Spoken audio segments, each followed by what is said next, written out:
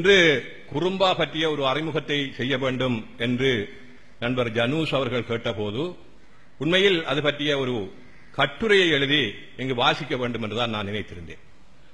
ஆயினும் அண்மை காலமாக ஒரு இலக்கிய ஊரோடு ஊரோடியாக நான் திரிகின்ற காரணத்தினால் பல கூட்டங்கள் நேற்று இரண்டு கூட்டங்களிலும் முந்தின நாள் கூட்டத்திலும் அதற்கு முன்னர் இரண்டு கூட்டம் இவ்வாறு பல கூட்டங்கள் இந்த வாரத்திலே வந்து என்னை அந்த கட்டுரை எழுத முடியாமல் தவிர்த்து விட்டது.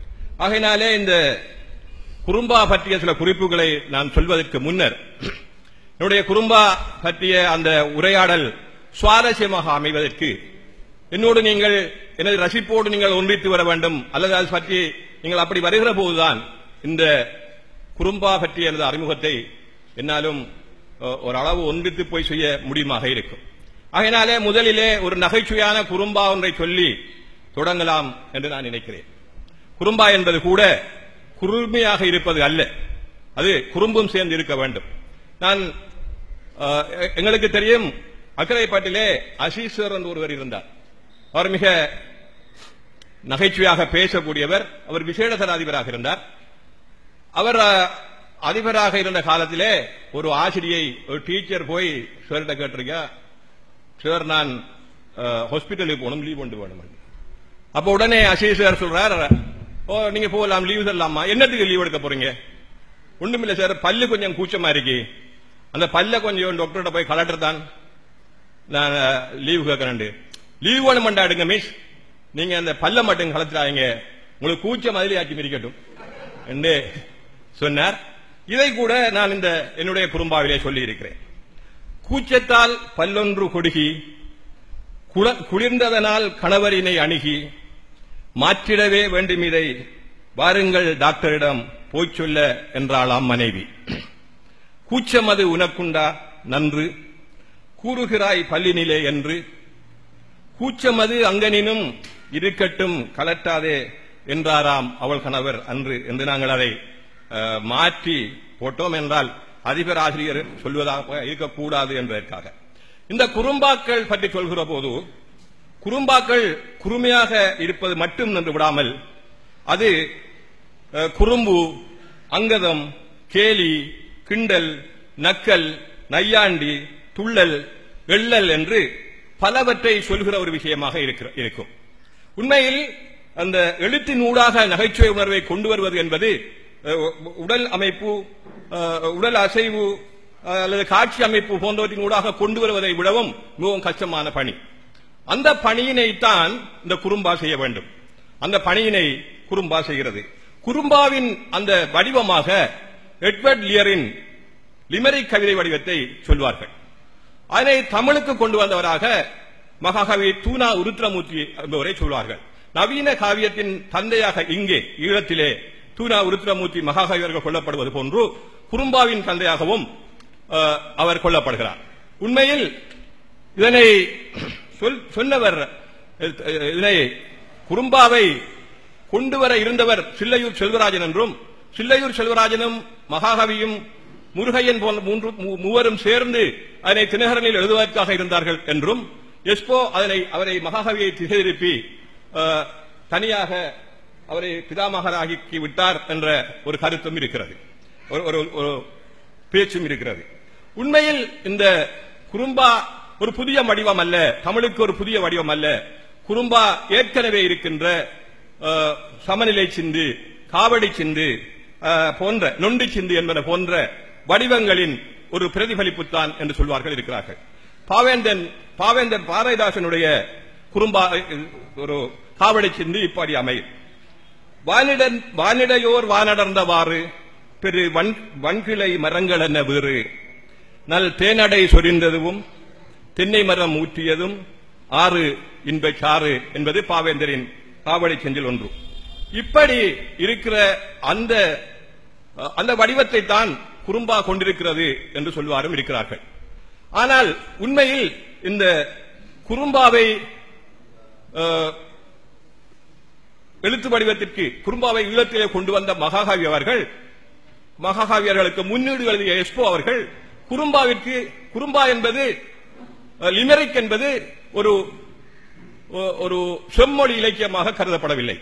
அது ஹோட்டல்களிலே உணவு விடுதிகளிலே நண்பர்கள் இருந்து உணவு விடுதிகளை சாப்பிட்ட பின்னர் ஆளுக்கால் நக்கல் அடித்து ஆபாச பேச்சுக்களை பேசி கேலி கிண்டல் செய்து இருந்த ஒரு லிமெரிக்கை தான் இவர் இங்கு கொண்டு வந்தார் மகாகவி.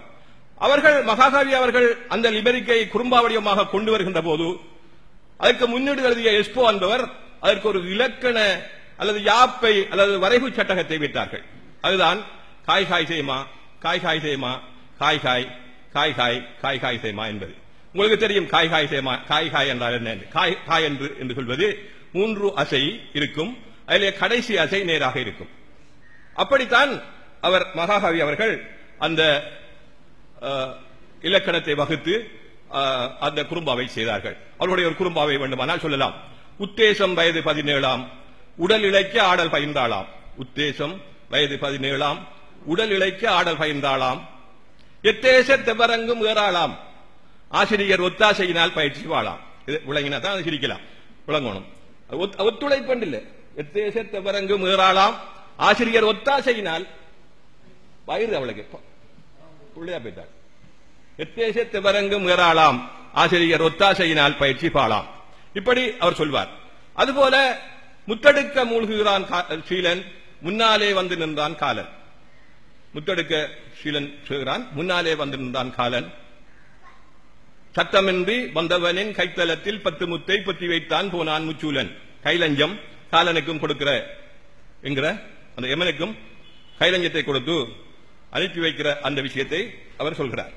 அப்படித்தான் அந்த லிமரிக் என்ற வடிவத்தை தமிழில் மகாகவி கொண்டு வந்தார்கள் ஆனால் மகாகவி காட்டி தந்த அந்த ஓசை வடிவத்தில் காய் காய் தேமா காய் காய் தேமா காய் காய் காய் காய் காய் காய் தேமா என்ற வடிவத்தில் தான் நான் சொன்ன அந்த ஏற்கனவே சொன்ன அந்த வடிவத்தில் தான் மூலமான ஆங்கிலத்தில் அந்த லிமரிக் இருந்ததாக சொல்ல முடியாது there is a young lady who chin resembled the point of a pin.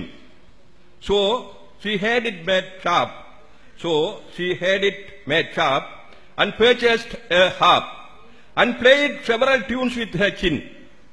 இதில் நீங்கள் பார்த்தால் முதலாம் இரண்டாம் ஐந்தாம் அடிகள் ஏய்வுத்தொடை பெற்றிருப்பது போல இப்ப நாங்கள் உத்தேசம் வயது பதினேழாம் உடல் இழைக்க ஆடல் பயின்றாளாம் எத்தேசத்து பரங்கு மேறாளாம் ஆசிரியர் ஒத்தாட்சி பாலாம் என்று முதலாம் அடிகள் அடியிலும் இரண்டாம் அடியிலும் அந்த இறுதி சீர்கள் ஏழாம் ஆளாம் உத்தேசம் வயது பதினேழாம் உடல்நிலைக்கு ஆட பயின்றாளாம் என்று இரண்டாவது வருவது இறுதி சீரிலும் உத்தேச பரங்கு முதலாளாம் ஆசிரியர் ஒத்தாசையினால் பயிற்சி பாலாம் என்று சொல்கிறோம். ஆனால் இந்த லிமரிக்கிலே இடையில் வருகிற இரண்டு வரிகளில் இரண்டு அடிகளில் there is a young lady who chin resemble the point of a pin so she had it made sharp and and harp என்று வரும்.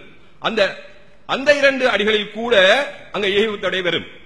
ஆகவே அந்த ஓசைப்பாட்டிற்கு பெரும்பாலான மகாகவியை பின்பற்றி எழுதுவர்கள் எழுதியவர்கள் எழுதவில்லை. அப்படி வேண்டுமானால் நாம் ஒரு குறும்பாவை சொல்லி காட்டலாம். மலர் விட்டு மலர்காவி வண்டு மனம் போன போக்கினிலே சென்று. மனம் விட்டு மலர்காவி வண்டு மனம் போன போக்கினிலே சென்று தேனுறிஞ்ச கண்டு தானுரிந்து நின்று கலாய்த்தவராம் கலங்குகிறார் நொந்து. மலர் விட்டு மலர்காவி வண்டு அது போற போல. மனம் போன போக்கினிலே சென்று தேனுரிஞ்ச கண்டு தானுரிந்து நின்று கலாய்த்தவராம். இப்ப கலங்குகிறாய் எய்ட்ஸ் நோயால இல்லாட்டி எப்படி கலங்குகிறார் என்கிற விஷயம். அதுபோல அதே ஓசை வரக்கூடியதாக இன்னும் ஒரு குறும்பாவை நாங்கள் சொல்லலாம். கருத்தினிலும் சொற்களிலும் உணர்ச்சி கரைகுரலும் கவிதை அதே கவர்ச்சி பொருத்தமிலா வடிவம் பொருந்தி வரா படிமம் தருபவரால் கவி வருமா மலர்ச்சி என்று இப்படி அந்த மூன்றாம் நாலாம் அடிகளிலும் இயல்புத்துறை வரக்கூடியதாக எழுதி காட்ட முடியும். லிமரிக்கின் ஓசை வடிவத்தை ஒத்ததாக குறும்பாக்கள் குறும்பாக்கள் அமைவதற்கு அந்த நாலாம் ஐந்தாம் அடிகள் காய் காய் என்று இல்லாமல் காய் காய் காய் காய் என்று இல்லாமல் காய்மா காய்மா என்று வந்தால் அது அந்த ஓசை வடிவத்தை பெற்றிருக்கும் பெற்று வரும் என்பது முக்கியமானது. மகாகவி லிமரிக்கின் ஓசை வடிவத்தை முழுமையாக பேணாவிட்டாலும் தமிழ் கவிதை மரபை உள்வாங்கி எதிகை மோனை செழுமை மிக்கதாக அரும்பாக்களை தந்தவர் என்று கூற முடியும்.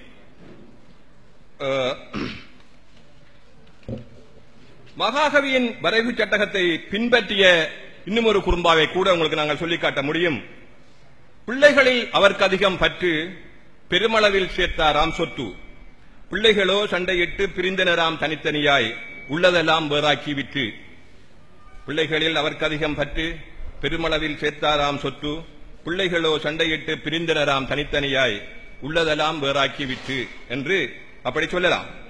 இதற்கு பிறகு மகாகவியினுக்கு பின்னர் மகாகவிக்கு பின்னர் அந்த குறும்பாவை எழுதியவர்களாக நாங்கள் சிலரை அடையாளப்படுத்த முடியும்.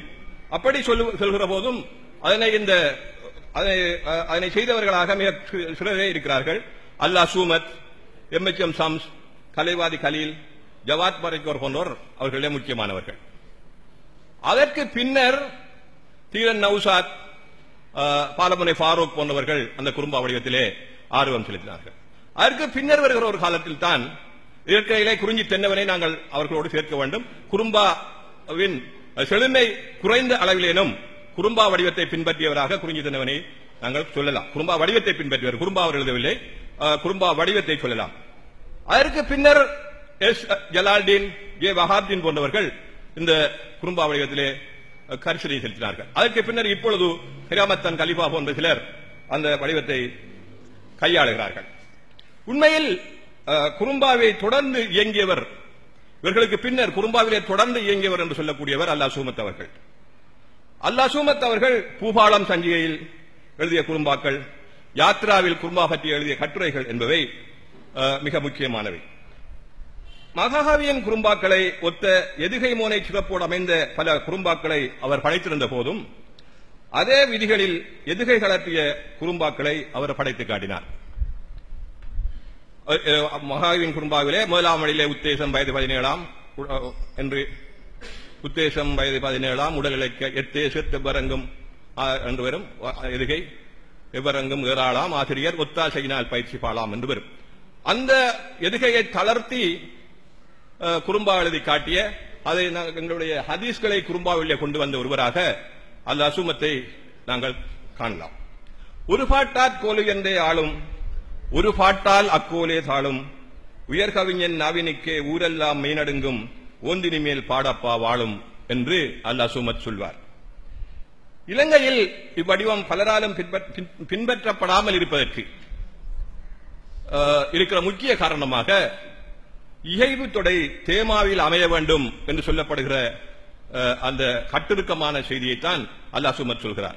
இப்படி தேமா இயைவு தொடையிலே இருக்க வேண்டும். இப்ப ஆளும் காலும் வாழும் நாளும் போலும் என்பதை தவிர அப்படி அந்த சொல்லை எடுத்துக்கூட அதுக்கு வருகின்ற இயைவு தொடை அதுக்கு மேலாக என்ன இருக்கிறது? ஆகவே இந்த இயைவு தொடை தமிழிலேயே இருக்க வேண்டும் என்பது- என்பது தேமாவிலேயே இருக்க வேண்டும் என்று சொல்வது குறும்பாவை விரிவடைய செய்யாது என்ற கருத்து அல்லாஹ் சுமத்திற்கு இருந்தது ஆகையினால் தான் அவர் சொன்னார் இந்த அதற்கு மாற்று வழிகளை கையாள வேண்டும் என்று அவர் குறிப்பிட்டார். ஆகவே புலிமாவிலும் ஒத்த ஓசை சொற்களை கையாள்வது பரிச்சயமான புறமொழி சொற்களை அதற்குள்ளே கொண்டு வருவது என்பது சிறப்பாக இருக்கும் என்று சொன்னார். அந்த முறையிலே புலிமாவை பின்பற்றி நாம் எழுதிய குறும்பா ஒன்றையும் இங்கே உங்களுக்கு சொல்லிக் காட்டலாம். படைப்பாளி படைத்தது ஓர் சிலவாம் பரிணாமம் அதற்குள்ளே பலவாம். படைப்பாளி படைத்ததுவோ சிலவாம் பரிணாமம் அதற்குள்ளே பலவாம். இந்த சிலவாம் பலவாம் என்பவை புலிமா சீர் உள்ளவை என்று என்பது உங்களுக்கு தெரியும். புலிமா என்பது நிறை நேர் என்பதுதான் புலிமா என்று உங்களுக்கு தெரியும். நேர் நேர் என்றால் தேமா நிறை நேர் புலிமா. மணப்பாடல் இரங்கற்பா மங்கள நீர் ஆட்டும்பா படைத்ததனால் பாவிலவர் நிலவாம் என்று இது ஒரு நக்கல்லான அல்லது குத்தலான பாட்டு. அவர் அவர் சொல்றாரு என்னண்டா? படைப்பாளி அவர் படைத்தது சிலதான். அதுக்குள்ள பலது படைச்சிருக்காரு. என்னண்டா? அவர் படி படிக்கிறது எல்லாம் என்னண்டா? மனப்பாடலும் இரங்கல் பாவம் மங்கள நாட்டு நீராட்டும் பாவுக்கான வாழ்த்துக்கள் தான் அவர் சொல்வாரு. இதுக்குள்ள அவர் சொல்றாரு பாவில் அவர் நிலவு என்று சொல்கிறார். இது போல ஆங்கில சொற்கள் அல்லது பரிச்சயமான புறமொழி சொற்களை கலந்து எழுதிய பாடலுக்கு காதல் நெய் கட்டியன திரண்டு காத்திருக்கும் கதை சொல்ல பிறண்டு தூதாகி போனவளாம் தோழிக்காய் ஆனாலும் தானாடி போனாளாம் புரண்டு என்று ஒரு கவிதை என்று என்று சொல்லலாம். இதிலே ஃப்ரெண்ட் என்ற ஒரு ஆங்கில வார்த்தை அந்த ஏய்வுத்துறையாக சேர்க்கப்பட்டிருக்கிறது காதல் நெய் கட்டியன திரண்டு காத்திருக்கும் கதை சொல்ல பிறண்டு உங்களை காதலித்துக் கொண்டிருக்கிறாள். உங்களை காதலிக்கிறாள் என்று காதலிடம் போய் சொல்வதற்கு அவருடைய ஃப்ரெண்டு போய் சொல்கிறாள். தூதாகி போனவளாம் தோழிக்காய் ஆனாலும் அவனை கண்டு தானாடி போனாளாம் புரண்டு என்று அது ஒரு நக்கலாக இருக்கும். இப்படி இந்த குறும்பாக்களை நாங்கள் சொல்லலாம். ஆனாலும் இந்த இலங்கையிலே இப்படி இலங்கை தீவினை இந்த குறும்பா வடிவம் பேசப்படுகிற அளவிற்கு தமிழகத்திலே இந்தியாவிலே இந்த குறும்பா வடிவத்தை அஹ், கையாண்டதாக இல்லை. பலரும் கையாளவில்லை. அவர்கள் இந்த குறும்பாவை வேறு ஒரு வகையிலே கையாளுகிறார்கள். அவர்கள் குறும்பாவை மூன்று அடிகளிலே சொல்வார்கள். அதற்கு தமிழ் அன்பன் எழுதியிருக்கிற சில குறும்பாக்களை உங்களுக்கு சொல்லிக் காட்டலாம். புகைப்பிடித்தால் இறப்பாய். புகைப்பிடித்தால் இறப்பாய். மது குடித்தால் இறப்பாய். இரண்டும் விற்றால் சிறப்பாய். புகைப்பிடித்தால் இறந்து போவாய். மது குடித்தால் இறப்பாய். இரண்டையும் விற்றால் என்றா சிகரெட்டையும் சாராயத்தையும் விற்று என்றா புகைப்பிடித்தால் இறப்பாய் மது குடித்தால் இறப்பாய். இரண்டும் விற்றால் சிறப்பாய். இது ஒரு குறும்பா அங்கு எழுதுகிற குறும்பா. துபாயில் அதிகமா வெயில் துபாயில் அதிகமா வெயில். கேள்வி கேட்டோன் கேள்வி கேட்டவன் கவனம் எல்லாம் அவன் இறக்கி வைத்த பையில். கேட்கிறான் என்னடா வந்த துபாயிலிருந்து வந்தடுகிறான் துபாயில் அதிகமா வெயில் என்று கேட்கிறவன் அவனோட கவனம் எல்லாம் துபாயிலிருந்து வந்தவன் இறக்கி வைத்த பையில் என்பதை அந்த குறும்பா சொல்ல வருது. துபாயில் அதிகமா வெயில் கேள்வி கேட்டவன் கவனமெல்லாம் அவன் இறக்கி வைத்த பையில் என்று அப்படித்தான் அவர்கள் எழுதுகிறார்கள். ஆஹ், இன்று இதுவரை ஈழத்தை பொறுத்தவரையிலே ஆஹ், பின்னர் மூன்று குறும்பா தொகுதிகள் அத்தோடு குறிஞ்சித்தன்னவனுடைய குறும்பா போன்ற ஒரு தொகுதி என்பது வந்திருப்பதாக அறிகிறேன். அந்த மூன்று குறும்பா தொகுதிகளும் தென்கிழக்கு பிரதேசத்திலிருந்தே வந்திருக்கின்றன. ஒன்று எஸ். ஜலாலத்தினுடைய சுடு- சுடுகின்ற மலர்கள் வஹாப்தினுடைய வெட்டுக்கற்கள் என்னுடைய பாலமனை ஃபாரூக் குறும்பாக்கள் என்பது. அந்த இவற்றிலே தீரன் நௌஷாத் போன்றவர்கள் எழுதுகிற குறும்பாக்கள் இந்த குறும்பா வடிவங்களை ஒட்டியதாக இல்லை. இவர்கள் சொல்கிற அந்த பதிமூன்று சீர் அவருடைய தீரன் நவுசாத்துடைய இல்லாவிட்டாலும் மிக அருமையான அஹ், நகைச்சுவையை தருகின்ற பாடல்களாக தீரன் நவுசாத்தினுடைய பாடல்கள் இருக்கும். தேவையானால் அதில் ஒன்றிரண்டை சொல்கிறேன். ஏறி போனால் பாட்டி மோட்டார் சைக்கிள்ல ஏறி போனால் பாட்டி ஏற்றி பி- ஏற்றி பின்னால் நோட்டி. பின்னால் ஒரு பொம்பளைய அவள் கிளவிய அவ போல ஒரு ஆளை ஏற்றி போனால் பாட்டி ஏறி போனால் பாட்டி ஏற்றி பின்னால் நோட்டி. முக்காட்டு தலையில் ஹெல்மெட் இல்லை என எதிரில் வந்த டிராபிக்கில் மாட்டி. அவன் பிடிச்சி போட்டான் மோட்டார் பெட்ரோல் பிடிச்சிட்டான் என்றதான் அந்த கவிதை. ஏறி போனால் பாட்டி ஏற்றி பின்னால் நோட்டி முக்காட்டு தலையில் ஹெல்மெட் இல்லை என எதிரில் வந்த ரபிக்கில் மாட்டி என்று எழுதுவார். இவர் அந்த இந்த இந்த அவர் அவர் இப்படி அவர் தூதுவிலே அவருடைய தீரன் அவர்கள் தூது என்று அவர் நடத்திய சஞ்சிகையிலே அவருடைய ஆசிரியர் தலைவர்கள் கூட குறும்பாவிலே மகாகவி சொல்லிக்காட்டிய அந்த வடிவத்தில் எழுதுவார். இப்பொழுது அவர் எழுதுகிற குறும்பாக்களிலே அந்தவற்றை விட்டுவிட்டு வேறு ஒரு வகையில் எழுதி கொண்டிருக்கிறார். இன்னும் ஒரு குறும்பாவை வேண்டும் என்றால் உங்களுக்கு சொல்லலாம். பெருநாள் வருது எடுக்கணும் சொல்வார். பெருநாள் வருது எடுக்கணும் சொல்வார். பெண்கள் கூட்டம் கடைக்கு செல்வார். பெருநாள் வருது எடுக்கணும் சொல்வார். பெண்கள் கூட்டம் கடைக்கு செல்வார். பேரம் பேரம் பேசாமல் பெருமை விளைவில் பெற்றவர் தோற்பார். பரதா போற்றியவரே மறுமையில் வெல்வார். இவை அந்த சீர்கள் அமைப்புகளை மீறிய ஒரு நகைச்சுவை இருக்கின்ற பாடல். வஹாப்தினுடைய கவிதை குறும்பாக்களிலே ஒரு புதிய விஷயம் இருக்கும். அவருடைய பேச்சு மொழியை அவர் இதிலே கையாளுவார். அவருடைய அஹ், இரண்டு குறும்பாக்களை நீங்க பார்த்தால் பேச்சு மொழியை கையாளுவார். அது மாத்திரமல்ல வஹாப்தீன் பேச்சு மொழியை கையாள இஸ்லாமியம் வணங்காமல்கின்ற சில சொற்கள் அதிலே வரும். அவர் எழுதிய ஒரு ஒரு குறும்பா அல்லது இரண்டு குறும்பாக்களை சொல்லலாம். சமைக்கின்றால் இஸ்மாயில் வண்டி. சமைக்கின்றால் இஸ்மாயில் வண்டி. சாப்பாடு என்றான் ஒரு மனுஷன் நொண்டி. இமைப்பொழுதில் தருகின்றேன். இது என்று சொன்னவளின் இடுப்பதனை கிள்ளிவிட்டான் பண்டி. சவைக்கின்றால் இஸ்மாயில் வண்டி சாப்பாடு என்றால் ஒரு மனுஷன் நொண்டி இமைப்பொழுதில் தருகின்றேன் இரு என்று சொன்னவளின் இடுப்பதனை கிள்ளிவிட்டான் பண்டி. இப்படி ஒன்று இருக்கும்.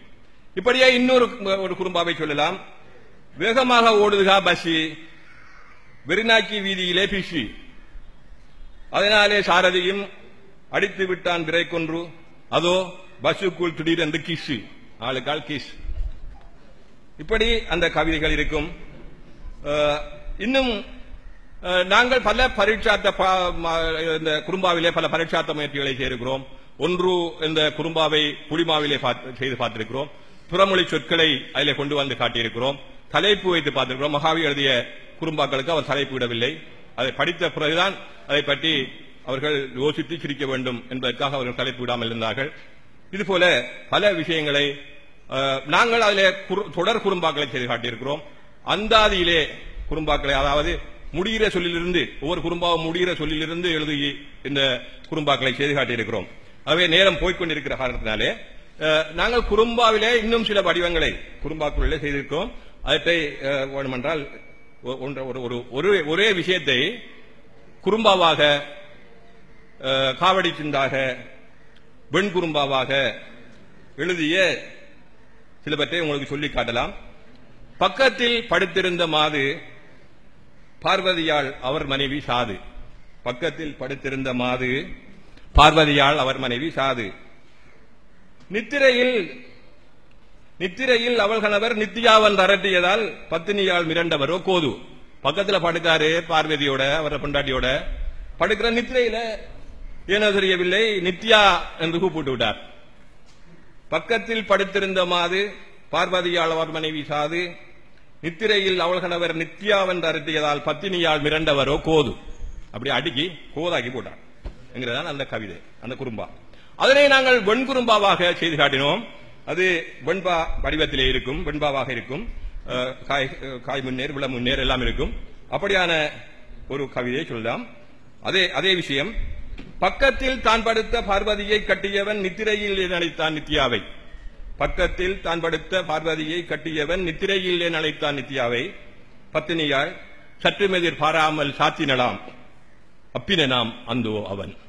கட்டிலுடன் சற்றுமெதிர் பாராமல் சாத்தினலாம் கட்டிலுடன் அப்பினனாம் அந்தோ அவன் என்று ஒரு குறும்பாவை செய்து காட்டினோம். அதேவற்றை குறும்பா காவடி என்று காவடி சிதிலை செய்யலாம். பக்கத்தில் படுத்திருந்த மாது அவள் பார்வதியே குணவதியே சாது நித்திரையில் என அழைத்தால் நித்தியாவென்றே கணவர் சாது மிரள கோது. இப்படியும் சொல்லலாம். இதனை உயிர்கும்மியாக சொல்வதற்கும் வழி இருக்கிறது. பக்கத்தில் பார்வதியால் படுத்திருந்தால் கணவரோடு பதிவிரதை மனைவி அவள் சாது நித்திரையில் கணவர் அவர் நித்தியாவன் நடத்தியதால் பத்தினியால் மிரண்டவரோ கோது என்று இப்படி சொல்லலாம். ஆகவே நேரம் போய்கொண்டிருக்கிறது இப்பொழுதெல்லாம் இந்த இப்பொழுது நான் எழுதுகிற சில குறும்பாக்களிலே இந்த அந்த சில இடைச்சொற்கள் விட்டும் சில குறும்பாக்களை எழுதி வருகிறேன். அதனையும் உங்களுக்கு அந்த புது மாதிரியாக இப்ப இடையிலே வருகிற போது நோய் வந்து நடிகை அவள் இறக்க வளர்த்த நாய் நன்- நாய் நின்று அழுது அழுது குறைக்க. நோய் வந்து நடிகை அவள் இறக்க வளர்த்த என்பதை இன்னொரு இடைச்சொல்லாக ஏற்றிருக்கிறோம் வளர்த்த நாய் நின்று அழுது அழுது குறைக்க மணந்த நாயகனோ வந்தான் நாலுகால் பறக்க அவன் வாரா- வாயெல்லாம் சாராயம் நுரைக்க. இது மகாகவியின் குறும்பாவிலிருந்து சற்று வித்தியாசப்பட்டு இடையிடையே ஒவ்வொரு சொற்கள் சேர்க்கப்பட்டு வந்திருக்கிற ஒரு விஷயம். நோய் வந்து நடிகை அவள் இறக்க வளர்த்த நாய் நின்று அழுது அழுது குறைக்க மணந்த நாயகனோ வந்தான். நாலுகால் பறக்க அவன் வாயெல்லாம் சாராயம் நுறுக்க. இப்படி பலவற்றை சொல்லலாம். என்றாலும் இப்பொழுது நான் நேர அஹ், கால சுருக்கம் கருதி என்னுடைய உரையை மிக மிகச் சுருக்கிக் கொண்டு விடைபெறுகின்றேன். நன்றி. இது ஒரு குறும்பாவல்ல. மிக சுருக்கிக் கொண்டு விடைபெறுகிறேன் என்பது குறும்பாவல்ல.